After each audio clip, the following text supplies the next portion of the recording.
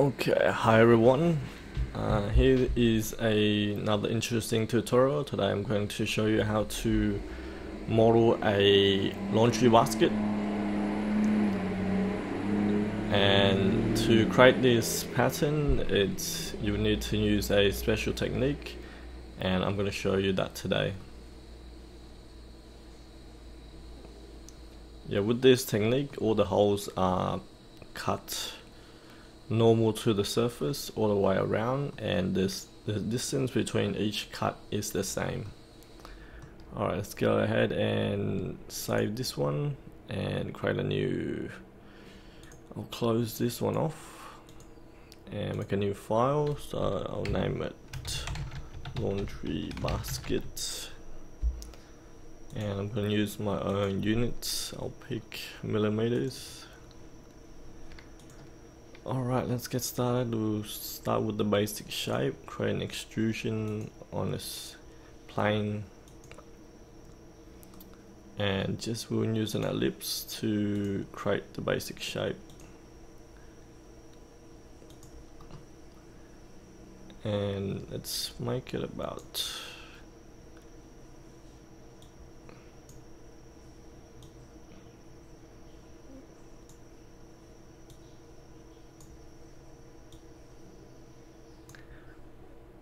Okay, let's make it a bit wider, make it about that much and click OK, extrude it up and we're going to use a taper option to create the angle. Just put a bit of angle about 20 degrees. So in options, click add taper, click add that angle and I'm not going to make that too tall, make it a I'll make the height 160 and one last thing is make it a surface and cap it on put the cap on.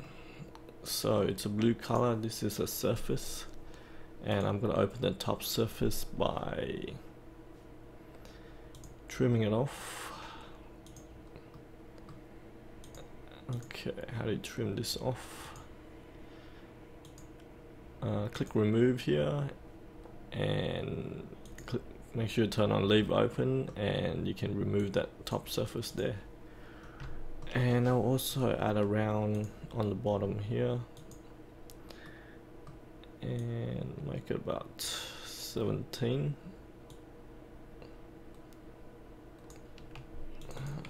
14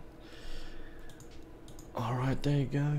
And also I'm to add a little lip, a round lip on this top surface here. We can do that with a... What can I do with it? Uh, sweep.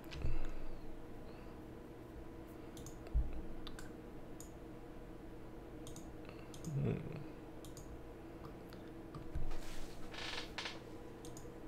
Yeah, I think it was a sweep and to create a sweep, sweep we will need to select a trajectory. And make sure you tap right click to select the, the whole oval shape.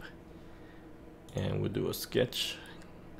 Flatten out by clicking there and we're going to use an arc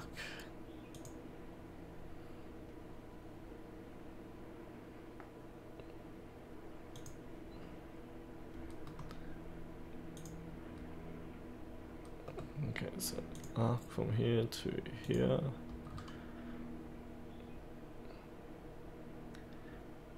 And we just make sure it's tangent. Click on here, click on here.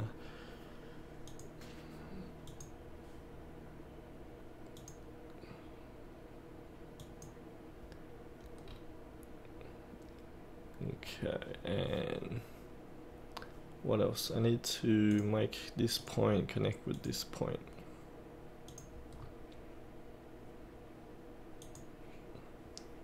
Alright that seems to be working. Let's try that again. So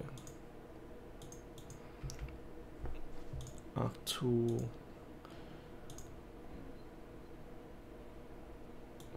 Alright there you go. It's tangent now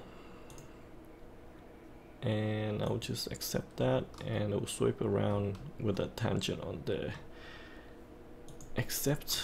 Okay we have our basket and I'll merge this surface with this. Click merge and merge them all together as one piece. And I'll use the thicken command to add a thickness to that.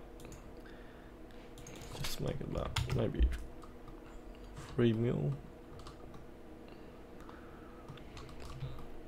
Alright, uh, yeah the size is not definite, it's just a quick dimension so uh, I'll make that about 2 actually and accept that. Alright, the next step we're gonna start working on how to create the pattern. It's a custom pattern. It's we're not gonna use the pattern tool. First thing is I'll create a plane.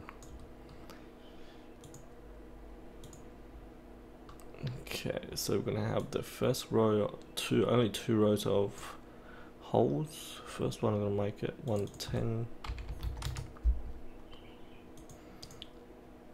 and just do another set actually we'll just alright we're gonna do another set we will be only doing once rows of hole today to save everyone the time click OK alright next we'll, we'll just hide the bottom plane Alright, we'll click the first plane and the first surface we'll create an inter intersection Alright, so it creates an intersection. Actually, make sure you select the surface all the way around and click accept. accept. So we have an intersecting curve on the inside here and what we need to do is to create the pattern we'll use a pattern of points so click on points tool here and select this curve.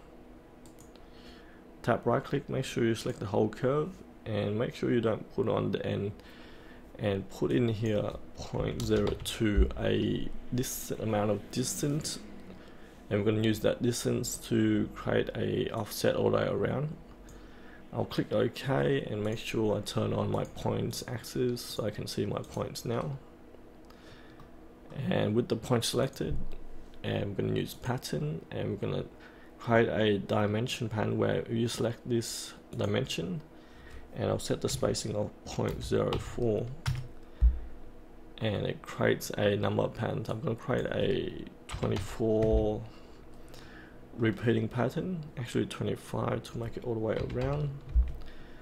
25 times 4 is 100 so it repeats perfectly around. And it looks about right and we have this going this point going all the way around. Alright next step to make it the cut perpendicular we need to use an axis. Make the axis um, connecting to this point and perpendicular normal normal to this surface and we're going to go to display to make it shorter. So this axis here is always normal to the surface and connects to that point. We're to click OK. Alright, next step we need to I'm going to use a sweep to create a cut, but this is an axis we can't really um, use axis. We need to draw a a datum line. To do that datum line, we need two points. Uh, okay, this one's important. To put this second point on um, on here and make sure it's um, there's a reference it needs to go somewhere it's it's not attaching to anywhere at the moment what we need to do is when we create this point we need to click click on this point and click on this line. So it's offset on the line to the other point and just drag the point around make an offset of about 40 and we're going to click OK. Right there you go. We can go ahead and make a curve through point and we'll make this a a datum line here and one more thing we need to do is actually create a x direction line to do that. We're going to use the x-axis yeah we need to create an x direction line just to you need it to do create to create the sweep properly. So we'll click the axis and click on this point and click on the surface. Oh actually no no click on this point click on this plane and make it um, actually click on this. Let's remove this. Click on this.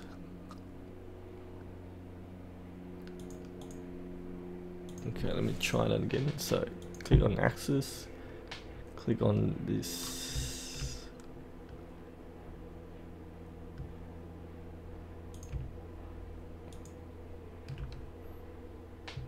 alright let me pause and check this one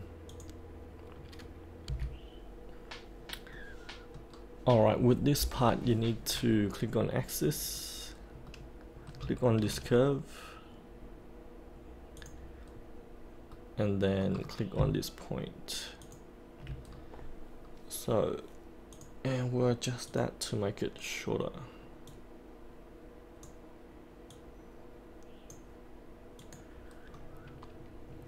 Alright, there you go, that's great. So, what we're going to do, we're going to pattern that across um, we're going to group all these together and then we'll pattern that. Because it's base we it's creating a reference pattern we have a, a number of points pattern around already. You create another pattern after that it will just repeat that technique and there you go we created a um, all that pattern around. And the reason I group all that together because it makes it pattern in the same techniques and it also avoids some areas as well. So sometimes grouping the features together will make it work. Alright, last step is to create a sweep and make a cut on there. We're going to make a sweep onto that curve. And we need to select the x direction. The x direction is this line here where we created the axis. It's just a horizontal line basing based on the cross section. So once we have that we can go ahead and draw the the cross section cut. And I'll just draw an ellipse here you can draw any shapes you like. And let's make this 42 by 20, 22 accept that click OK. And we just want to make sure we drag this box so it cuts all the way through. And we're going to go remove material click OK. And then just click pattern do a reference pattern all the way around. And sometimes it fails to fix this you will need to just go in edit the definition. Just switch to a surface and just look around check if there's any problem and then switch it back to a solid cut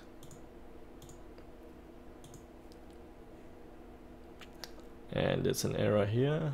You might want to adjust this cut distance let's move this shorter. Just play around with it and it should work fine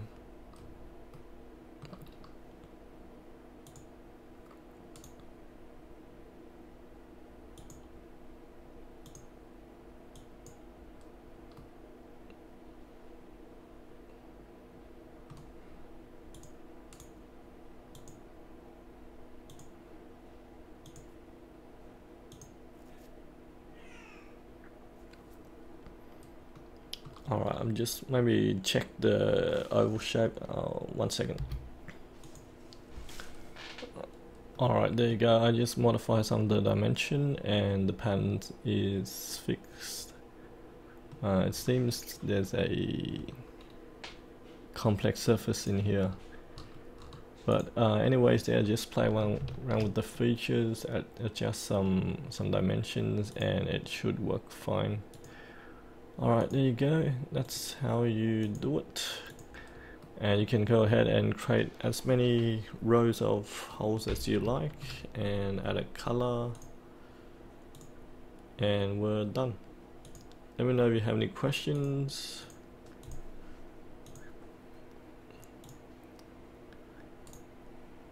and you can hide these curves by putting them putting them on a layer there you go. Have a great day. See you later and happy new year